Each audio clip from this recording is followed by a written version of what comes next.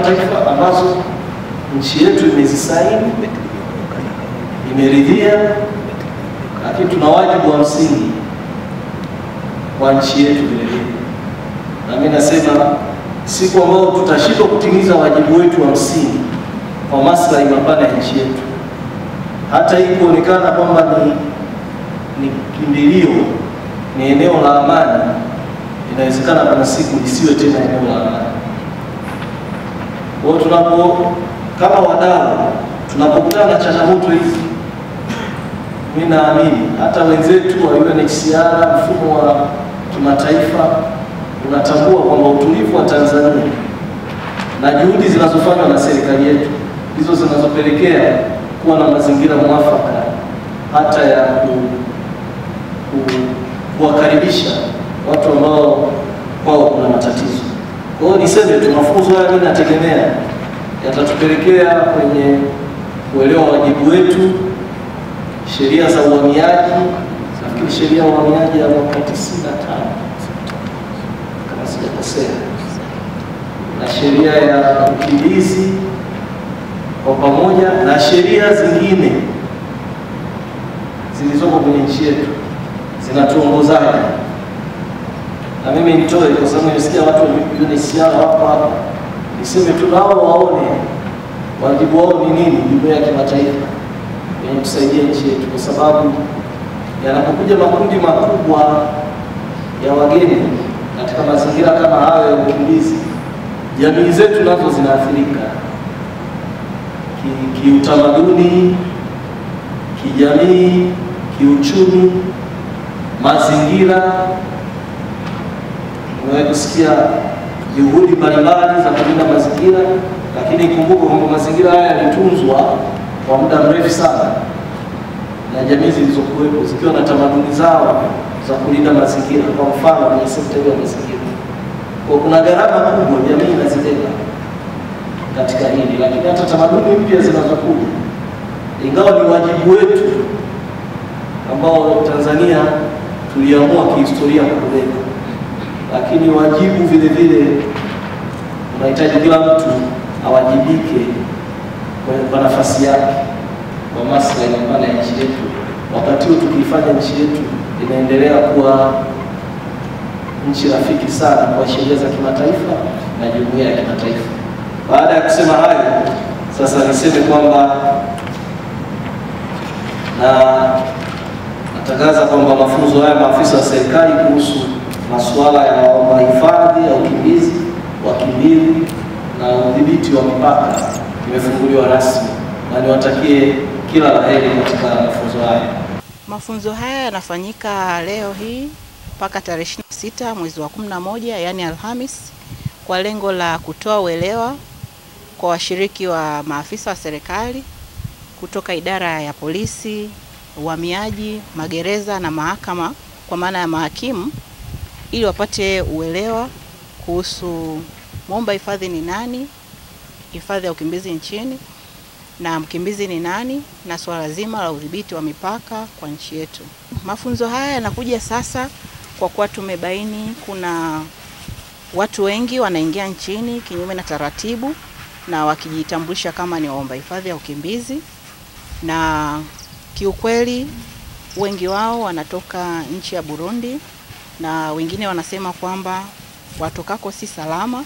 Kwa hiyo tumeona kuna umuhimu wa kuwapa mafunzo maafisa wa serikali ili waweze kumbainisha nani ni mwomba hifadhi ya ukimbizi na nani mwa- ni mhamiaji haramu, ukizingatia idara ya uhamiaji nao ni washiriki katika washa yetu hii au mafunzo haya. Kwa hiyo na wao watapata nafasi ya kueleza nani ni mhamiaji haramu au mtu ambaye anaingia nchini kinyume na cha taratibu. Sheria zinazotakiwa kufuatwa, ipo sheria ya wakimbizi ni sheria namba tisa ya mwaka 98 na sheria ya uhamiaji ya mwaka 95. Kwa ndizo zinazohusika kudhibiti waingiaji nchini, kwa maana sasa sheria ya uhamiaji na wakimbizi na waomba hifadhi ni sheria ya wakimbizi niliyohitaji ya mwaka 98. Sasa hivi tuna wakimbizi takribani laki mbili thelathini na tatu elfu mia nne na sitini kwa kuwa wanaendelea kuondoka wakimbizi raia kutoka Burundi wanaendelea kurejea nchini kwao. Kwa hiyo ndio maana anasema takribani laki mbili laki mbili thelathini na tatu elfu mia nne na sitini. Nafanya kazi UNHCR Dar es Salaam na tumekusanyika Mwanza kwa ajili ya mafunzo ya pamoja ambayo yameandaliwa kati ya idara ya wakimbizi a, a, idara ya serikali pamoja na UNHCR kwa ajili ya e, maafisa wa serikali wa mipakani a, hasa maaskari magereza, maaskari polisi, maafisa uhamiaji, lakini pia kuna mahakimu ambao e, tumewaleta kwenye mafunzo haya kwa ajili ya kujifunza mambo mbalimbali yanayohusiana na e, wakimbizi na ukimbizi kwa ujumla. E, ni jukumu la serikali kuwahudumia wakimbizi na sisi kama UNHCR jukumu letu kubwa ni kusapoti serikali kwenye kuwahudumia wakimbizi. Kwa hiyo tuko hapa kushirikishana e, uelewa wa mambo haya ili mwisho wa siku e, uhudumiaji wa wakimbizi uwe kirahisi.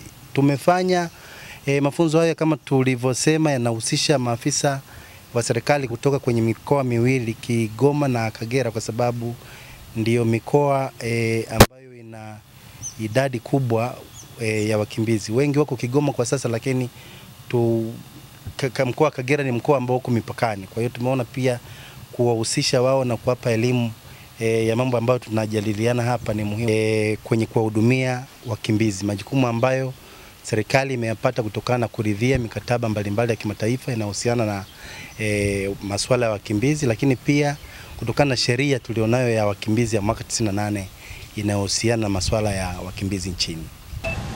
Ya kama uhamiaji au kama division ya usimamizi ya, usima, ya, ya udhibiti na usimamizi mpaka, mpaka wetu ni mkubwa sana, na sisi tuko maeneo machache, na mpaka na eneo la mpaka yetu ni porous kwa Kiingereza, kwamba unaweza ukapita, mtu anaweza akapita mahala na sijulikane kama ameingia, lakini pamoja na hayo tunafanya patrol, lakini pamoja na patrol hizo kuna watu wengine wana wana manage kuingia lakini lakini tukishindwa kuwakamata mpakani tuwakamata ndani ya nchi.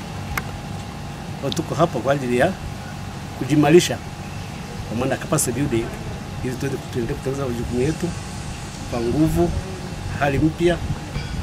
Sisi kama mahakama tumekuja katika mafunzo haya ambapo tunapata uelewa pamoja na kuona ni jinsi gani tunaweza tukazitoa haki kwa mujibu wa sheria, kwani haki zipo na bila kumbagua mkimbizi basi haki zile tunazitoa bila woga, bila huba, chuki, kuhakikisha kwamba kila mmoja anapata haki yake na kulinda haki za watu wote bila kujali mkimbizi au Mtanzania. Hizi kesi ni nyingi katika mazingira ambayo makambi mengi ya wakimbizi yako mkoani Kigoma, hivyo tunapokea kulingana na matukio yanavyokuwa. Kesi sio nyingi sana za kutisha, lakini kwa kiwango fulani tunapokea hizi kesi za wakimbizi kwa kukiuka taratibu na mienendo ya nchi au sheria za nchi hii. Lakini pamoja na hayo ni kwamba tunatenda haki na wanapata haki